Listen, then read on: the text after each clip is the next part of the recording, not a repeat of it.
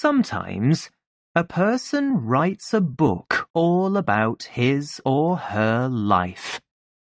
These books are normally very boring. This is not one of those books. I do not want to write everything about me. But some things happened to me in my early life, and I did not forget them. They are not important, but I remember them fifty or sixty years later. Some things are funny.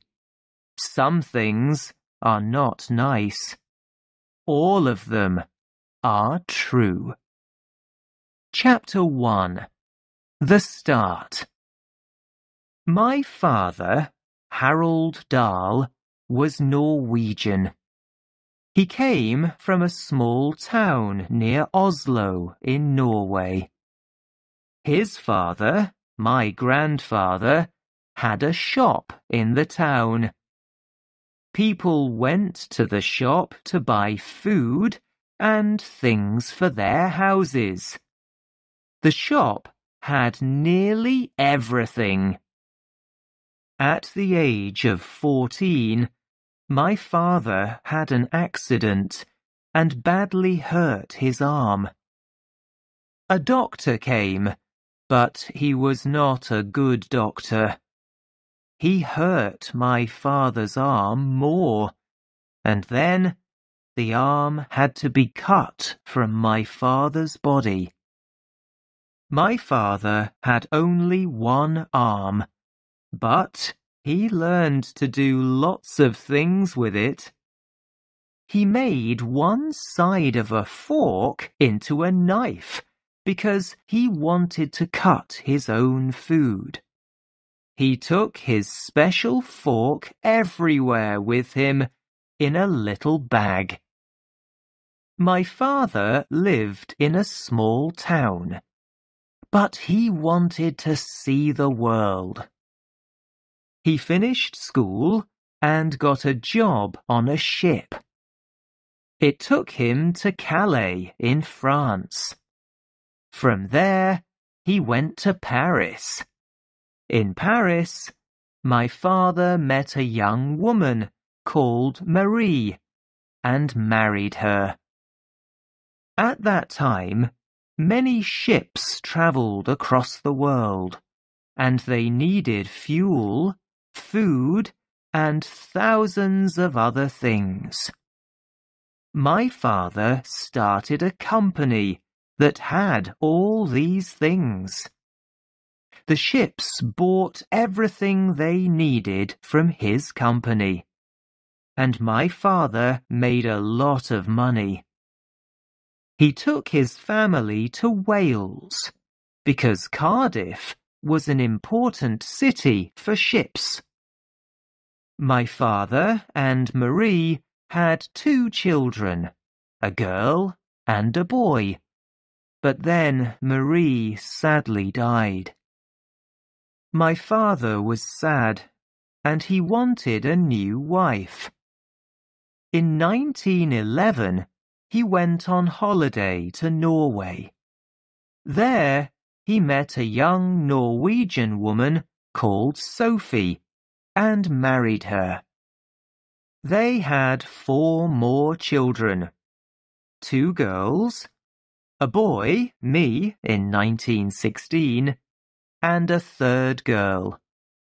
Now they had a happy family with six children. We all lived together in a big house in Wales, in a village eight miles west of Cardiff. We had chickens, cows, and horses. Our big family was very happy. But then my sister, Astri, got an illness and she died. She was only seven years old. My father got a different illness and he died too. Maybe he did not fight his illness because he was very sad about Astri. Today, these illnesses do not often kill people. Doctors can give people something to make them better. But in 1920, doctors could not help my family. Now my mother had five children a new baby, and no husband. She was a young Norwegian in a strange country, and her family were all in Norway. But my mother stayed in the United Kingdom because my father wanted his children to go to school in England. English schools are the best schools in the world he always said. I do not remember a lot from my earliest years, but I can remember one thing very well. My tricycle. A tricycle is a bike for small children, but it has three wheels. My sister and I loved to ride our tricycles as fast as we could in the middle of the road. It felt good to go very fast. We could ride in the road because there were not many cars in those days. Chapter 2 The Sweet Shop In 1923, I was seven years old, and I started school. Every day, my friends and I walked about a mile to school, and we went past a sweet shop. And every day, we stopped and looked at all the wonderful sweets in their jars. Sometimes we had money, and we could buy some sweets. But there was one problem. A bad woman worked in the shop. Her name was Mrs. Pratchett. Mrs. Pratchett was a small, ugly old woman. She never smiled, and she was never friendly. She always shouted at us, I'm watching you or You have to buy something, or you must go away. She was also very dirty. Her clothes always had egg and bread and tea from her breakfast on them. Her hands were grey and dirty, and her fingers were black and she put these dirty hands into the jars of sweets. Of course, this did not stop us from buying the sweets, but we did not like Mrs. Pratchett. At school, my friends and I found a small place under the floor. We kept our sweets and other special things in it. One day, we found something new there. A dead mouse.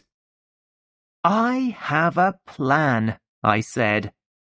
Let's put it in one of Mrs. Pratchett's sweet jars. She will put her dirty hand in the jar and she will find a dead mouse. Yes, my friends said. We will do it today. You must put the mouse in the jar because it's your plan. I will ask for some yellow sweets, my friend Thwaites said. They are at the back of the shop. Mrs. Pratchett will turn and get them.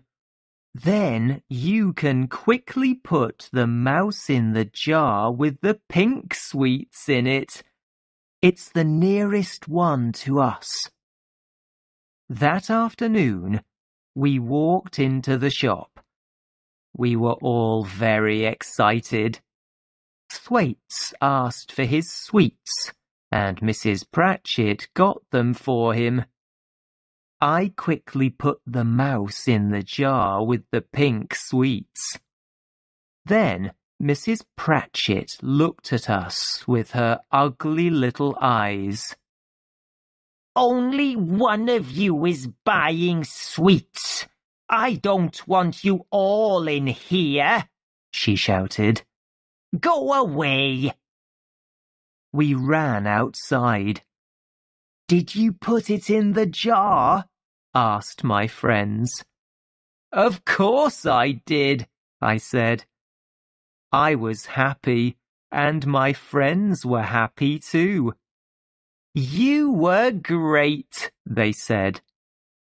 The next morning, we walked past the shop and saw a message on the door. The shop was closed.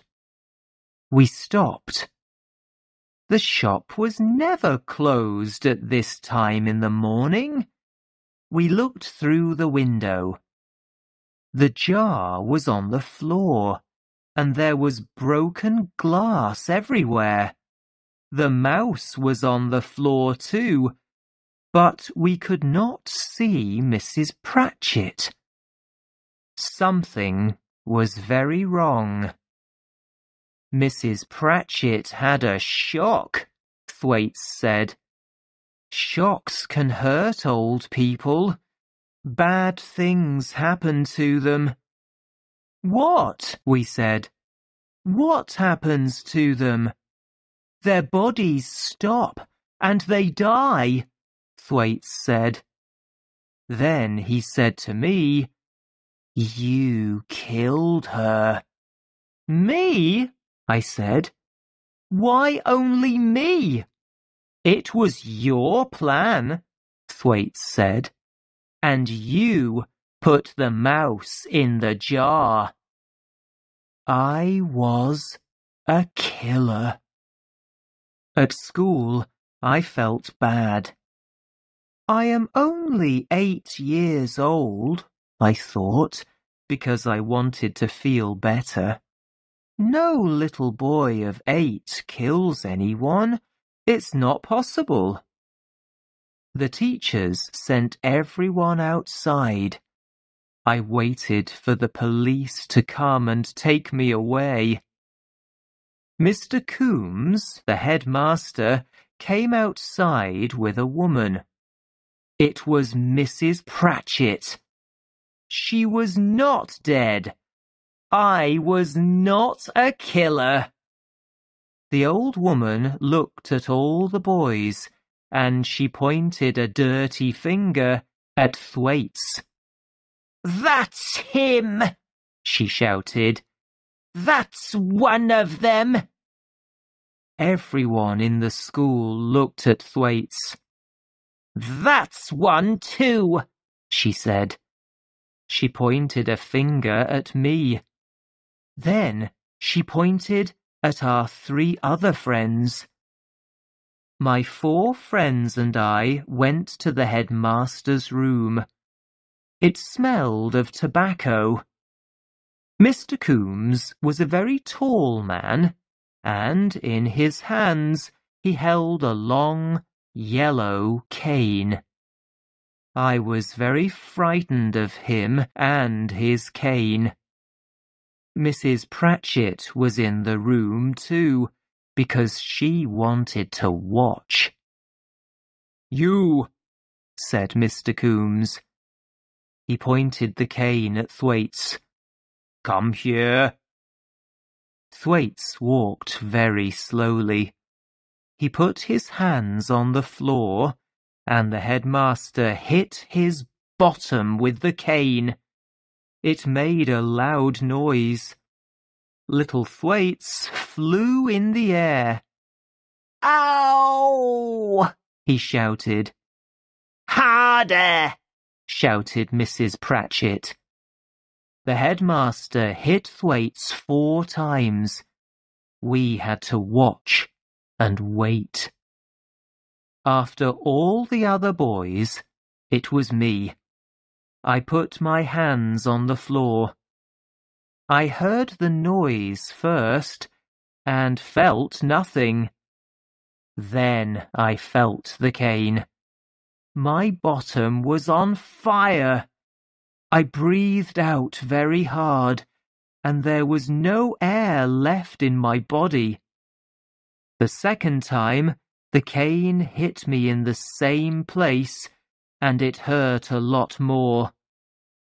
After four times, it was time to go, but it was difficult to walk. My bottom was on fire, and I held it with my hands. Thank you, headmaster, said Mrs. Pratchett happily.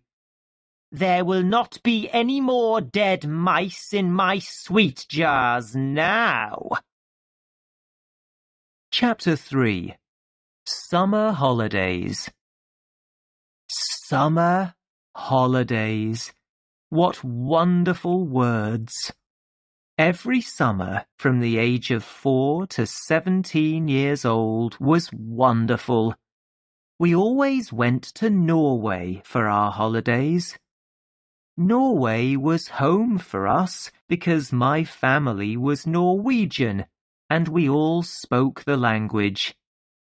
We were always a big group of ten or more people. There were my three sisters and my very old half-sister. That is four people. There was my half-brother and me. That is six. There was my mother, seven, and someone to help, eight two or more friends of my very old half-sister came too. In those days there were no planes. It took four days to go to our holiday in Norway.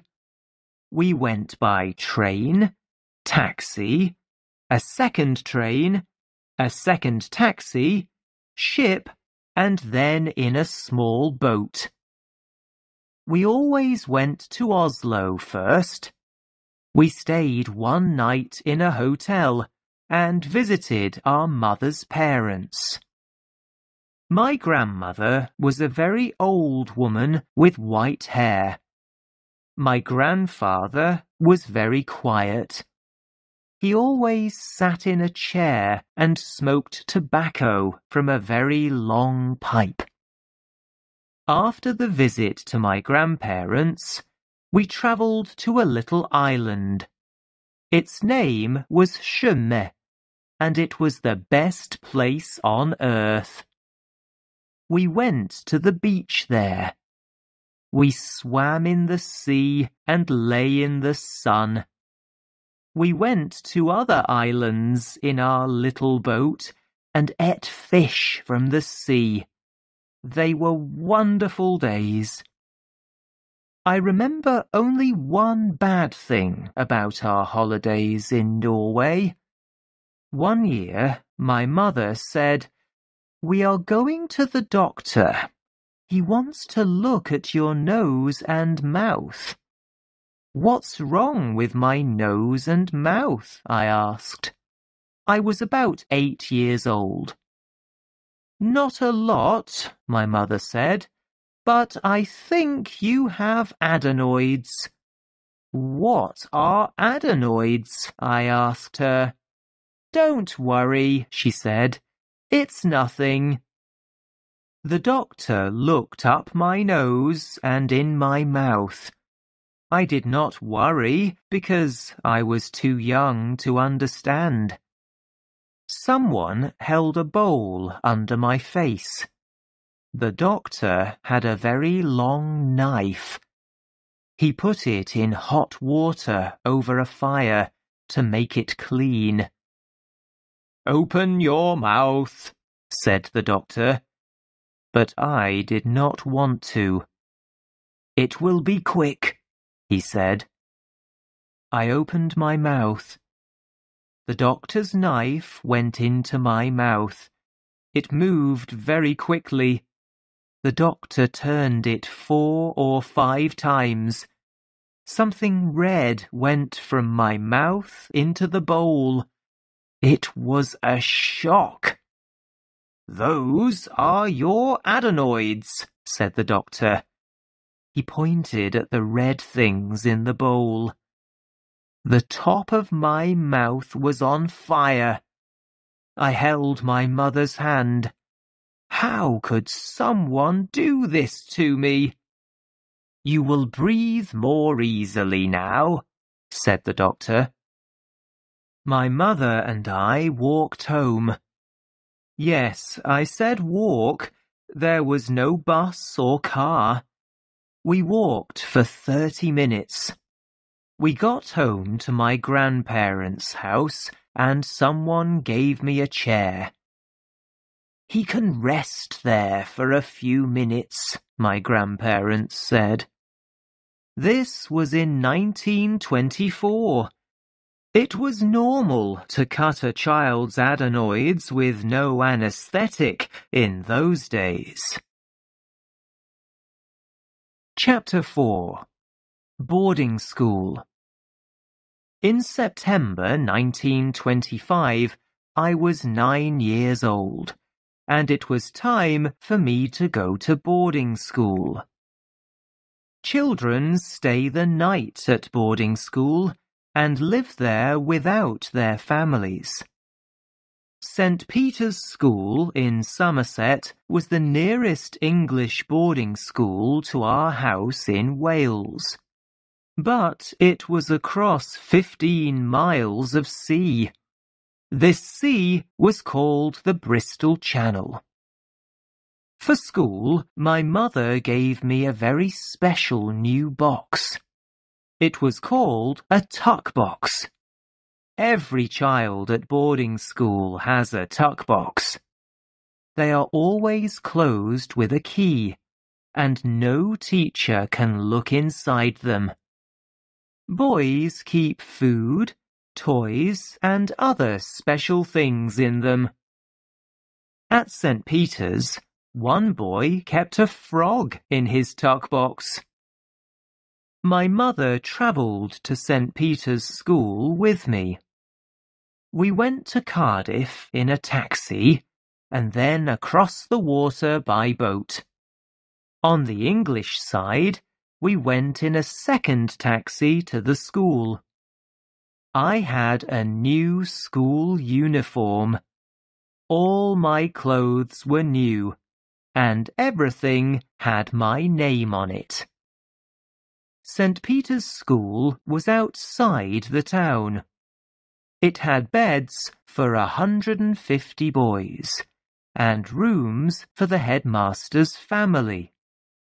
There was a lot of grass outside for playing sport. On the first day, there were many boys and their families in front of the school. The very tall headmaster walked from group to group to meet the parents. Goodbye, Mrs. Dahl, he said quickly. It's time to go. Don't worry, we will look after him. My mother understood. She said goodbye to me and left in a taxi. The headmaster went to talk to a different family. I stood there with my new tuck box and began to cry. I was sad because I did not want to live away from my family. Life at St. Peter's School was difficult. The teachers were not friendly, and I was always frightened of the cane. We had to wash in cold water, and the food was bad. I wanted to go home and see my family. At night in bed, I always thought about my family and tried not to cry. They were across the Bristol Channel, and I could see the sea from my window. I always went to sleep with my face towards my family. I never turned my back towards them in bed. Mothers sent their hungry sons food every week. This made the headmaster happy because food was expensive. Send food as often as you like, once a week or twice a week, the headmaster always said. Your boy gets good food here, but food from home is always more special. You can send them things like fruit and a big cake. You don't want your child to be the only boy with an empty tuck box. Every Sunday, every boy at St. Peter's wrote to his family. We never wrote about the bad things at school. We only told our parents good things because the headmaster read our letters. He saw our bad spelling, but we could not change it in the letters. We had to write the words correctly later. No teacher has read this letter, our parents thought, because there is bad spelling in it. Everything in this letter must be true. My child is happy at school. I wrote to my mother that first Sunday, and then I wrote to her every week for 32 years. Sometimes more than once a week. In 1957, she died, and I found more than 600 of my letters to her. She kept them all. Chapter 5 A Drive in a Car After three long months at boarding school, it was time for me to go home for the Christmas holidays. How wonderful to be away from school. While I was away at St. Peter's, my family bought a car. I was very happy to be home with my family, and I was also excited about the car. In 1925, anyone could drive a car. You did not need to learn a lot. My very old half-sister was 21 years old. She had two 30-minute lessons, and then she could drive us in our car. That day, seven of us sat in the car. In the car were my very old half-sister, my half-brother, 18 years old, my sister, 12 years old, my mother, 40 years old, two small sisters, 8 and 5 years old, and me, 9 years old. We were very excited. How fast will it go? We asked our very old half-sister. Will it go at 50 miles an hour? It can go at sixty miles an hour, she answered. Oh, let's make it go at sixty, we shouted. We will go faster than that, she said. My very old half-sister started the car and we drove slowly through the village. People in the street were excited to see our car. After five minutes, we left the village. You see, I can do it, our very old half-sister said. Go faster, we shouted. We're only going at fifteen miles an hour. My half-sister began to make the car go at about thirty-five miles an hour. Then we came to a corner in the road. Help! she shouted. The car went into the side of the road. There was broken glass everywhere. My family were all okay, but I was badly hurt. My nose was nearly cut from my face. My very old half-sister drove the broken car to the doctor very slowly, at about four miles an hour. Wow, said the doctor. Look at his nose. It hurts, I cried. Please help him, said my mother. Don't worry, said the doctor. He will keep his nose. An hour later, the doctor came to our house. I lay on a table, and someone put something white from a bottle on my face. It smelled very strong. I tried to stand, but strong hands held me down on the table. Good boy, said the doctor. Close your eyes and sleep. After eight hours, I woke up and my nose was back in its place.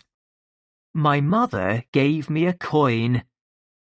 British coins always have a picture of the king or queen on them. In those days, the king was George V. Well done. This is for you, she said. Chapter 6 Goat's Tobacco In 1926, my very old half-sister chose to marry an English doctor. He came on holiday with us to Norway. My family always did everything together. But now my half-sister only wanted to be with this man. She was always with him, and they did not want to be with us. My other sisters and I were young. I was only nine years old, and we did not understand this. We did not like the young doctor because he took our sister from us. But we also did not like him because he smoked a pipe. He always had the pipe in his mouth, and it smelled very bad. One day, on the beach, the young doctor went swimming. He left his pipe with us, and did not take it into the sea with him. Then I saw some goat droppings on the ground, and I thought of a plan. I quickly put some of the goat droppings in the pipe, under the tobacco. The young doctor came back and started smoking his pipe. My half-brother and sisters and I watched him. Ah, he said, I love to smoke after a swim and this English tobacco is the best. It's much better than Norwegian tobacco. The sea was blue and the sun was bright. It was a beautiful day. Then we heard a loud shout and watched the young doctor fly into the air. His pipe flew out of his mouth and his face was the colour of snow. Help! Help! My body is on fire! The doctor shouted. My very old half-sister was very frightened. What's wrong? Where does it hurt? she cried. Get the boat! Quickly! We must go to hospital! But the young doctor lay on the ground and breathed in the clean air. After five minutes, he started to feel better. What happened? asked my very old half-sister. I don't know, said the doctor.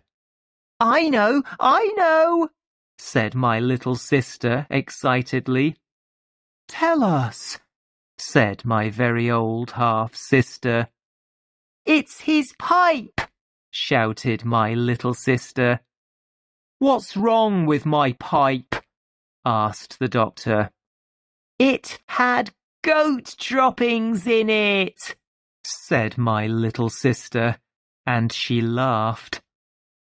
My very old half-sister and the doctor quickly understood, and they were very angry. The doctor stood up. My half-brother, sisters and I quickly ran away from him into the sea. Chapter 7 Repton In 1929, my mother asked me, Do you want to go to Marlborough or Repton? They were famous and expensive English schools, but I knew nothing about them other than that. Repton, I answered, because it was an easier word to say than Marlborough. Very well, said my mother, you will go to Repton. Repton was a boarding school in the middle of England. Every Repton boy wore the same very strange uniform. I wore it and my sisters laughed at me. I felt stupid in the clothes for Repton, but in the street my mother said, You look good in your school uniform. People can see it. They think you are important because you go to a famous school. At the station, I saw many boys and they all wore the same uniform. The train took us all away to Repton. I was thirteen years old. Lots of strange things happened at Repton they did at all English boarding schools. Older boys were always more important than younger boys, and a small group of the oldest boys were the most important of all. At Repton, we called these boys Bowsers. Bowsers told us what to do, and we had to do it. We cleaned the Bowsers' rooms and made their fires. We sometimes cooked their breakfast. Bowsers were always right, and younger boys were always wrong. On Sundays, two other boys and I had to clean our Bowsers' room. We cleaned it for hours. We washed the floor the windows, and the walls. But the Bowser often found something wrong with our cleaning, and he hit us with a cane. A Bowser could stand in any room of the school and shout about a job.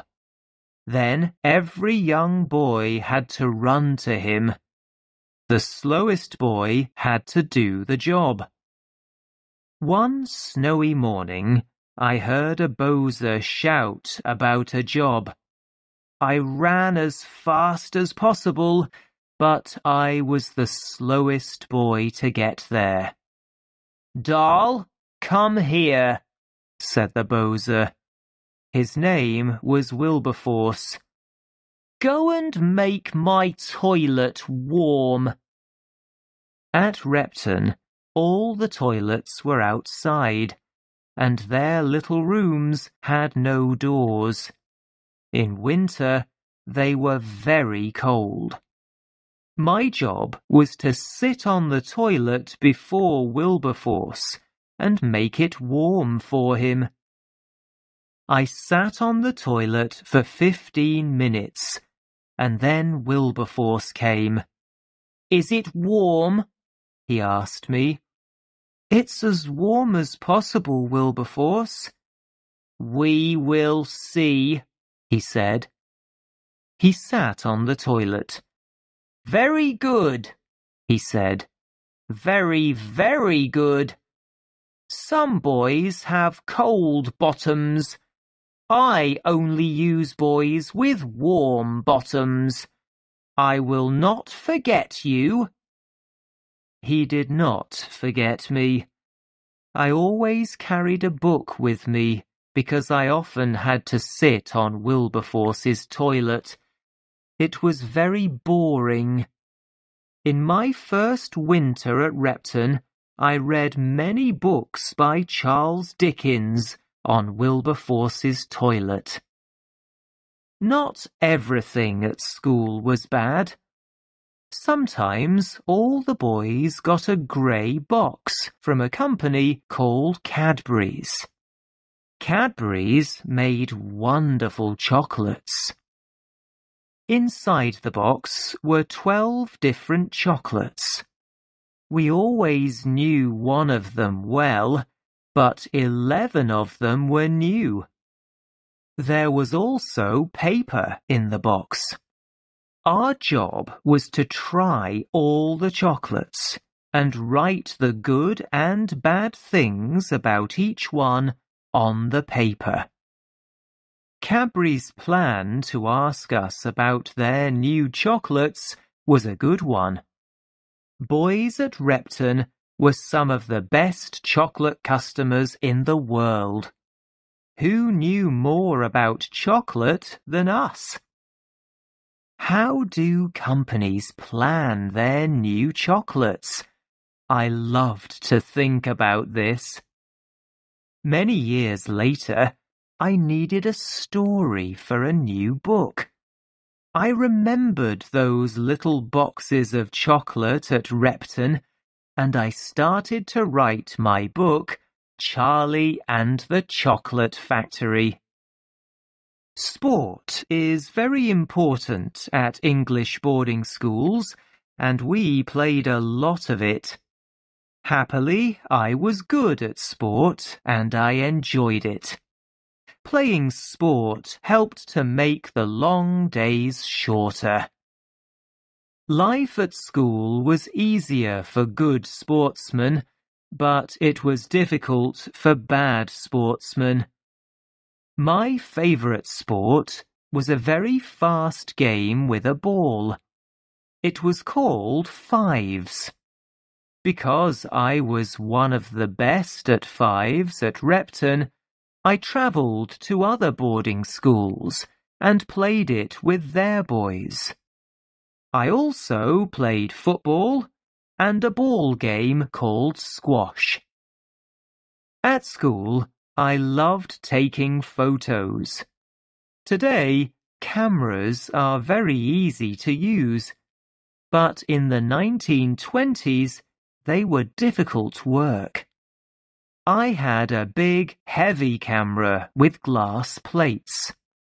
I made a dark room near the school's music rooms, and I made many photos there. After school, do you want to study at Oxford or Cambridge? My mother asked me one day. These are great and very famous places, and boys from good public schools normally wanted to study at them. But I did not want to study more. I chose to start work at a company called Shell because I wanted to see the world. I travelled to many countries with Shell, but that is a different story and a different book. I may tell it one day.